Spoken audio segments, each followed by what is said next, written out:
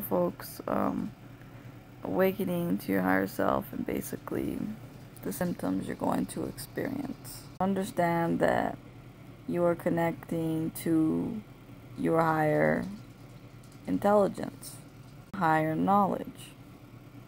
Along this journey, you're going to be finding out the good and the bad things.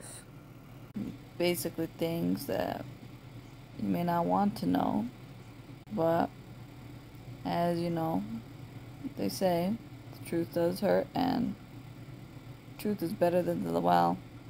I don't know how to explain that for you, but just know that you will get some truths, truth told to you. Be angry. You will be sad knowing this information, but don't let it get to you. Strong and let it go. It's not worth it to hold on. Worth it to close your heart. Especially if you want to welcome twin flame love.